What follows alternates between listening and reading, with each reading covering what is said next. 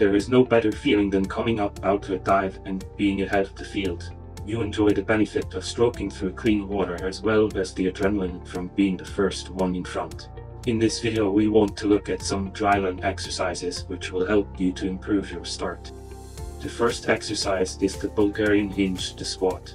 Bulgarian hinge to squat is a great accessory training exercise to develop more power and lower body strength in your quadriceps, glutes, and abdominals. The next exercise is the sliding lateral squat. The lateral slide squat is a dynamic side shuffle movement pattern that increases power and agility throughout the lower body. The last exercise is the single leg press. The single leg press works the muscles in your quadriceps, hamstrings, and glutes.